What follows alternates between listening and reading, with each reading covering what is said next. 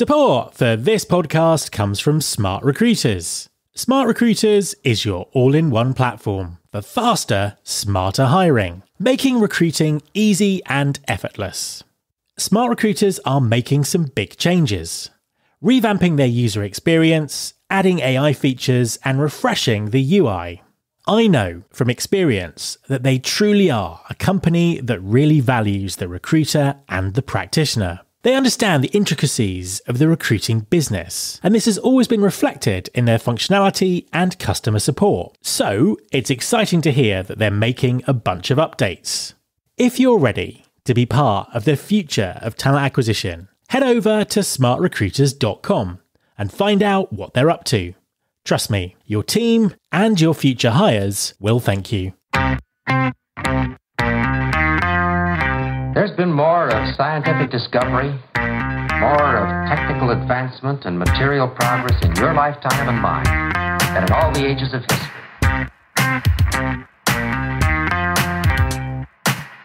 Hi there. Welcome to episode 648 of Recruiting Future with me, Matt Alder. Over the last few weeks, many established software vendors have launched AI augmented products, helping us move past the hype and get a much more hands on view of what AI means for talent acquisition. There is still a massive amount of unknowns, but it is evident that AI is the chief catalyst in what is now an unstoppable transformation of TA and the broader talent function. AI and automation fundamentally alter the speed and scale at which TA can operate, constantly pushing the boundaries of what's possible. So, what does this mean for TA leaders and practitioners right now?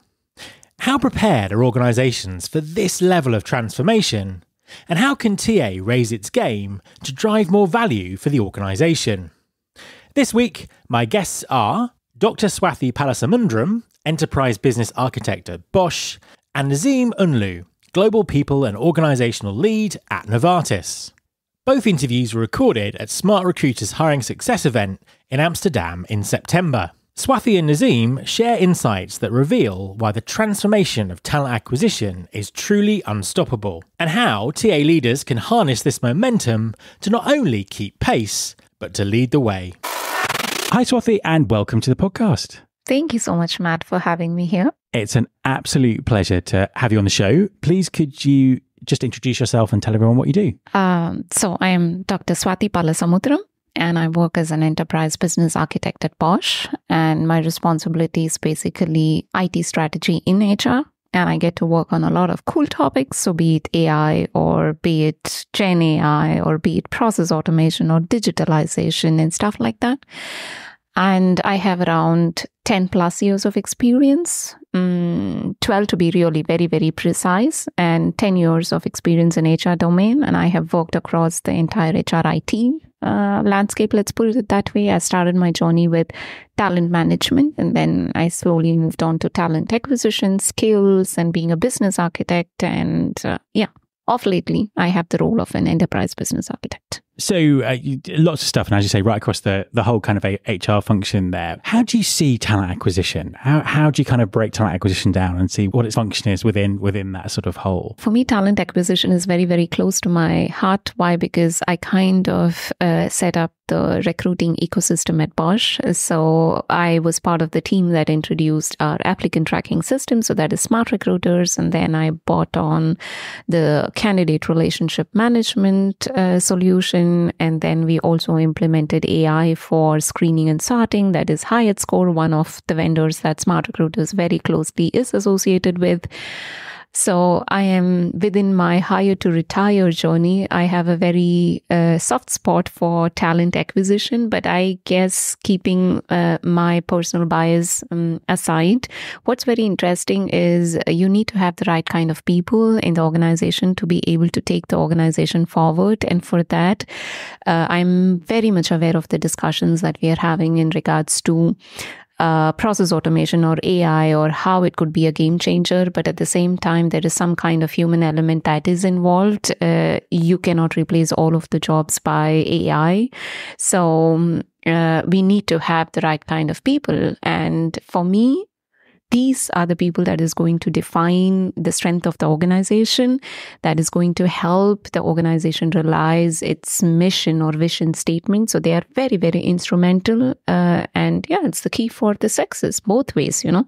So I, being part of the organization, I also get to learn a lot, uh, and the organization as well leverages on my skill set and what I bring to the table. The human aspect is kind of really important. I think we'll sort of circle back and uh, talk about that a little bit later. But let's drill into that that AI part of it. How is AI currently being used in talent acquisition? What are you seeing as the use cases at the moment? I actually did a very interesting exercise a couple of weeks ago where I wrote down on a piece of paper the end to end hiring process. And I said, okay, uh, this is step where we could automate. This is the step where we could a, introduce AI. So this is an activity I did. And after that, I kind of resonated it with business leaders as well as stakeholders within the organization. And somehow 90% of what I had written down is what the business is also asking. So we can start with screening as well as sorting, you know, depending on uh, the volume of candidates that you're kind of processing. So uh, organizations as well as recruiters will be very, very happy to leverage on an AI solution to be able to sort that entire bunch of candidates that they get. And once the algorithm is able to tell this is your top five or top six, then comes the human element of wanting to interact with the person and trying to fit if this person matches what we are looking at from an organization perspective. Yeah. So I guess we are not yet there uh, within the talent acquisition space where we can leverage on large language models for you to mimic a human screening. And then, probably once we start working in this area, it would be very interesting to compare the results of how a Gen AI is kind of uh, screening a profile versus how I, as a recruiter, would do it. And then that's a different discussion altogether. But since we are not there, so I would say, at least at the first step, it's very interesting to let AI do it. And then comes the human element of me wanting to talk to the candidate and trying to understand if he's a benefit or not. In your presentation earlier, you were distinguishing between automation and AI because, um, and you weren't the only person who pointed out this that that this morning that particularly in this sector they tend to just kind of mold into one, and people talk about um, uh, talk about automation uh, very often with technologies that have been around for five or ten five or ten years. But tell us more about your, your sort of perspective on that. There are a lot of um, how do I say service providers and there is also technology that is in and around the area of automation. But for me, when I'm talking about automation, I'm actually looking at more inbuilt features and functionalities within the system. So here it's more in system intelligence, and this can work on um, when you leverage on the data that is already existing in the system. Yeah. And this for me is actually a game changer because vendors are actually having solutions to support a particular process and there is a lot of process related data that goes actually untapped. You have candidate data, you have job data, but then there is process related data that's resulting of an interaction between the job and the candidate. That could be as simple as, you know, the responses that the candidate gave in an interview or the feedback that the hiring team gave for a particular candidate or the questions that were asked from the interview. And there is so much of analysis that you could do and you could feed back the loop to did you write your job description properly? Did you ask the right questions in an interview? Was did you evaluate? So for me all of this is where you can leverage on you know ai to be able to give you the results and then automate certain processes in regards to next step or even automation in regards to give insights to the hiring team. So this is why I said in my presentation earlier as well that we interchangeably use process automation as well as AI. And then we have to make up our mind where are we going to use process automation and where is AI. You also talked about um, readiness in terms of where people are on this kind of on this kind of journey. And you, you, did something I've not seen anyone do before, which is kind of split that down geographically. Um, just give us the some of the highlights of that about what some of the the sort of the key differences is are across different continents or how that works. This was a very interesting slide. And I guess I was discussing with a colleague of mine before I came down to the conference. And I was asking uh, that person what would be interesting for him to understand if somebody is talking about AI in talent acquisition.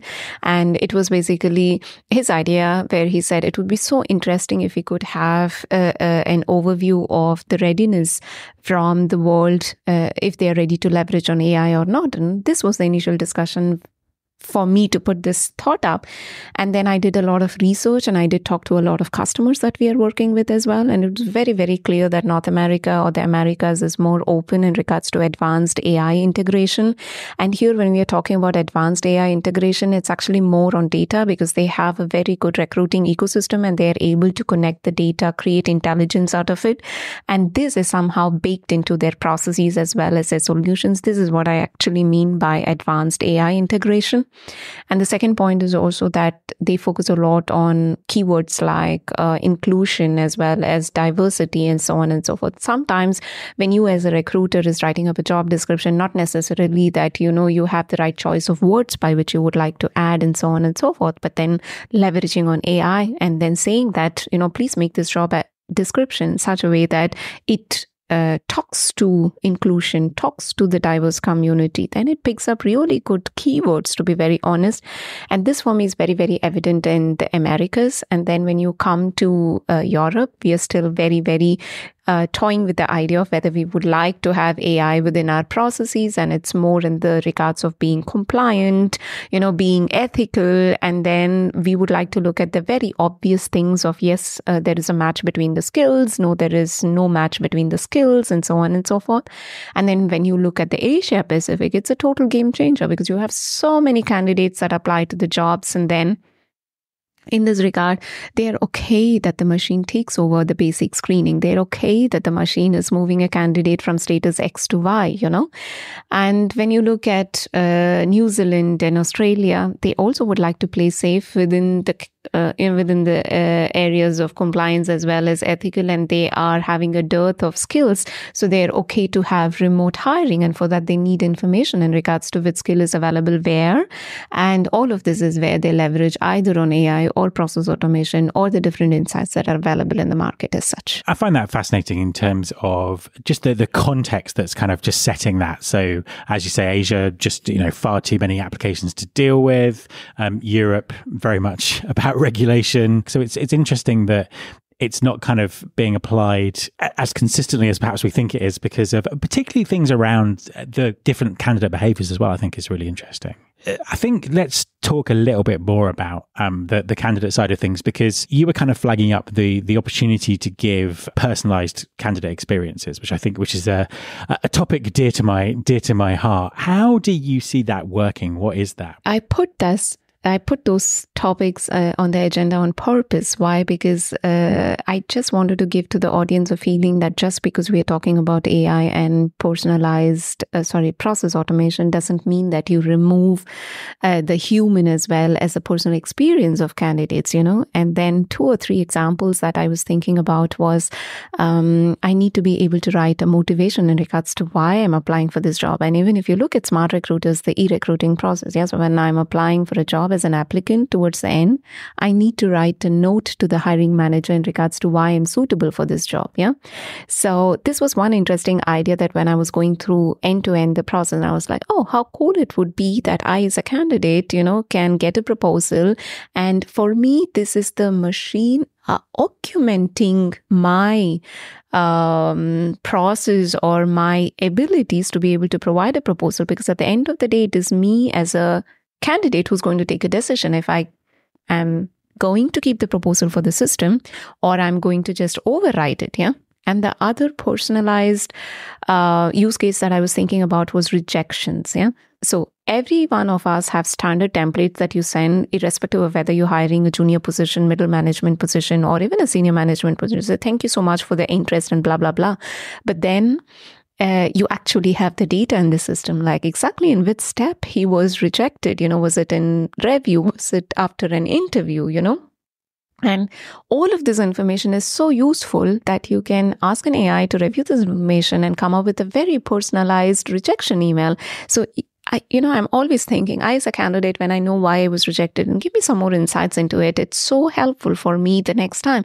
And all of these are the human elements. You see, it's always a combination of using the machine to be able to do something for you, but at the end of the day, it's the human touch that we are able to get. And this is a very interesting thought, which I don't think most of us are thinking in this direction. It also kind of illustrates the, uh, you know, the, the kind of the journey that we're on and um, how far a lot of organizations have, have got to go to even be thinking in the right way to, to deal with what's going on.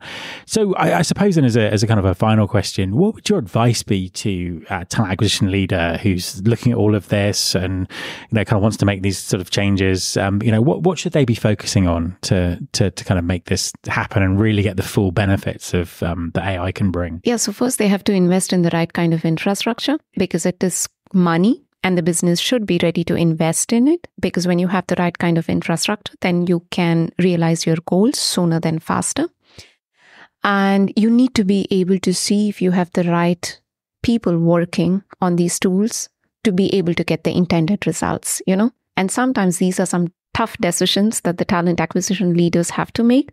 So, uh, and they must be ready to make. Thank you so much for talking to me. Thank you, Matt, for the opportunity. I really appreciate it. Hi, Nazim, and welcome to the podcast. Hello. Hi, Matt. It's an absolute pleasure to have you on the show.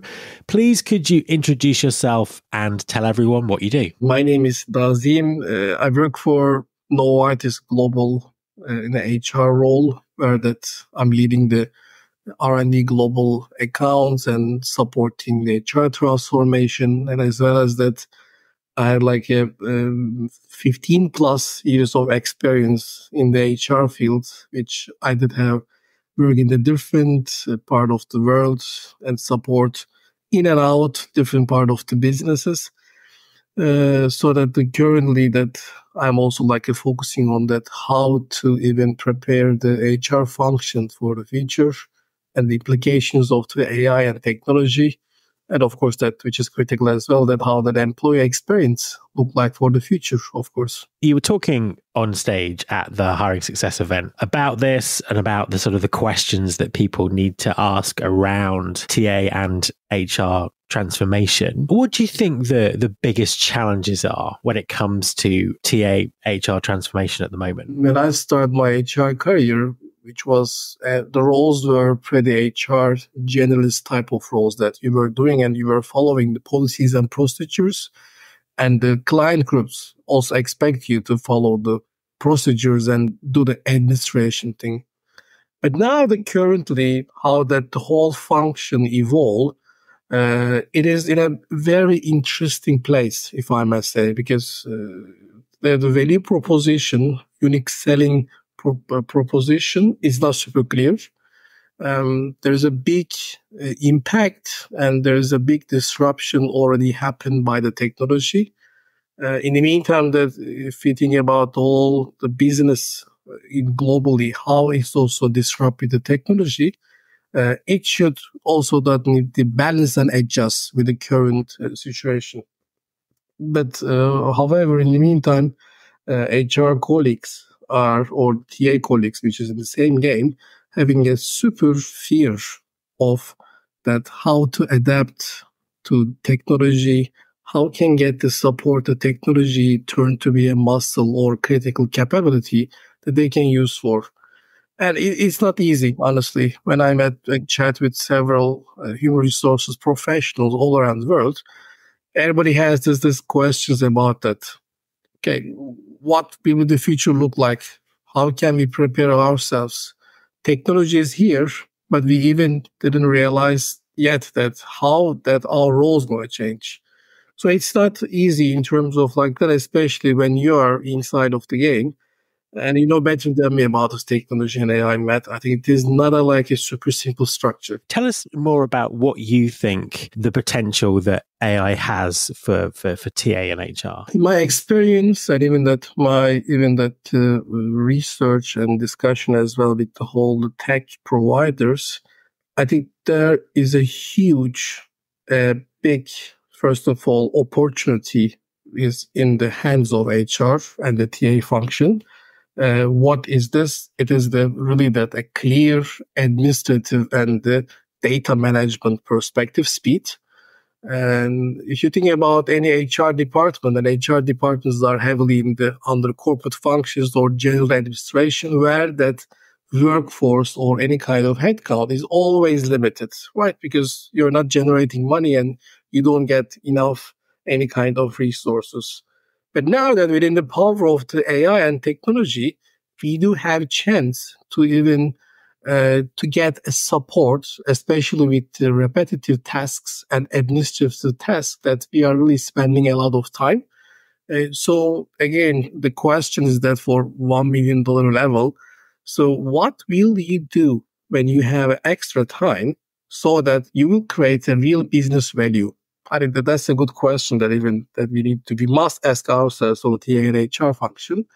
Uh, but what I believe, which is also close to my heart, and I did speak several times in many different platforms as well. Uh, I like the democracy, and uh, which is an interesting part of the humanistic uh, style as well how can AI support the process of the human resources and that human resources can be more democratic and egalitarian. This is really that very critical where that we can, I believe that to create the most uh, significant value that nobody can replace. Uh, because if you think about any TA process or any HR process, let's talk about the promotion or that applying any role in outside, there are tons of bias is over there, right? And the, the role of the TA leader is very critical that how can you really set the process super clean, democratic, egalitarian, and also accessible and inclusive for everybody. This is amazing role.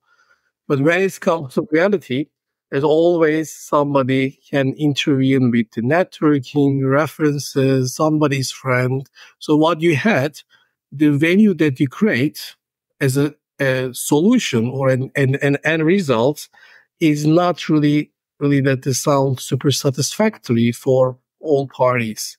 So what I believe the power of the usage of data, AI, technology with the right, of course, tools uh, can make HR and TA function more human than ever. And what I believe, which is we never discussed this, the power of TA, talent acquisition function, gonna be really increased with the power of the data. Uh, heavily that the companies are focusing only talent management, which is makes sense because the cost perspective, if you invest more in talent management and promotion internally, uh, it increases the culture, engagement, and of course, then you doesn't you don't need to have any kind of like extra cost for the uh, headhunting or any kind of role finding. But what is missing?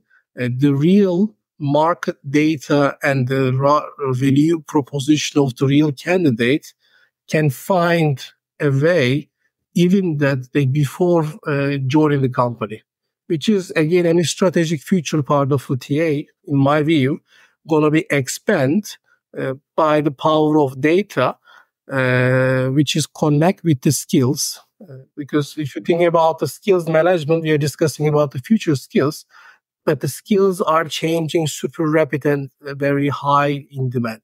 So you never even that being sure that what skills needed during the, even that you start the one talent acquisition process in three months, it's changing as well. It's very, very hard. So in this context, how can you create a robust, strong bridge between TA, which is very good with external focus, can feed the internal talent management by hiring the right fit candidate, which can be, again, you know, this T-shaped profiles, right? Which is uh, like interesting uh, discussion.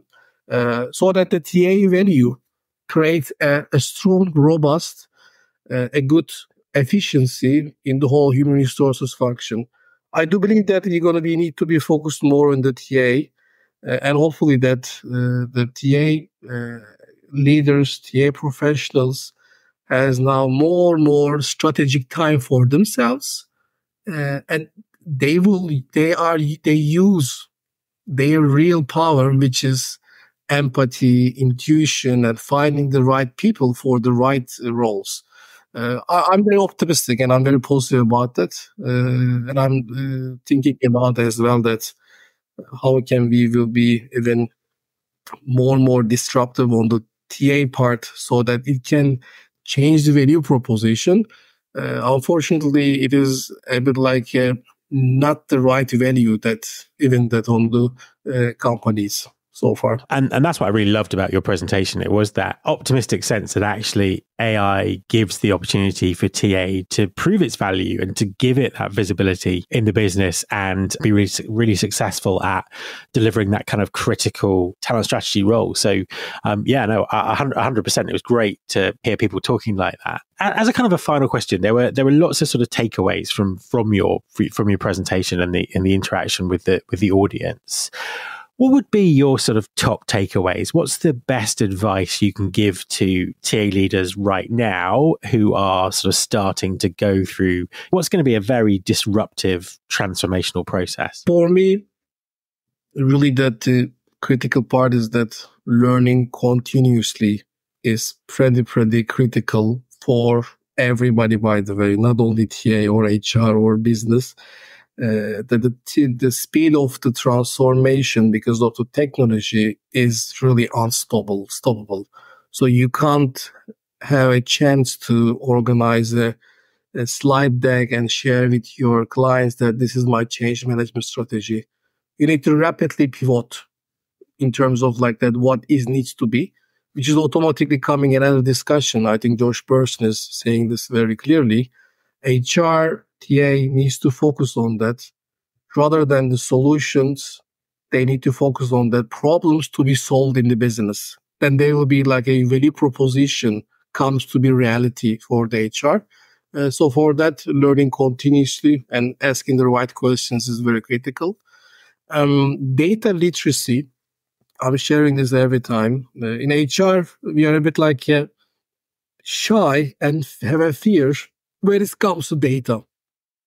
And, and in this context, with the data, AI, uh, our role in TA and HR is really evolving uh, like a, uh, a thing about a orchestrator, collaborator who can read the right data insights and create actionable results for the business. So for this, you need to not shy away to understand the HR analytics, people analytics. So please try to learn this. Um, other part is that more being really uh, embracing the change, and of course that not forgetting about advocating for the people, right? Uh, during the, my uh, presentation, I did ask questions, which is one question was like that: What aspects of your job do you believe that AI cannot replace? And, and that was a super clear moment that all the TA leaders they got this super clearly empathy, human touch, emotions. This is the real TA and HR capabilities, really, that the AI and tech cannot replace. So, which means that we need to be more and more ever humanistic, human oriented, oriented uh, for being that, even being the more creative. Yeah, these are like more takeaways. Uh, I'm again, as we discussed, I'm very optimistic. And I believe that if we have the right arguments uh, in the right moment, uh, technology will really support the, uh, the whole TA and HR function positively. Nazim, thank you very much for talking to me. My thanks to Swathi and Nazim. You can follow this podcast on Apple Podcasts, on Spotify, or wherever you get your podcasts. You can search all the past episodes at recruitingfuture.com on that site, you can also subscribe to our weekly newsletter, Recruiting Future Feast, and get the inside track about everything that's coming up on the show. Thanks very much for listening. I'll be back next time, and I hope you'll join me.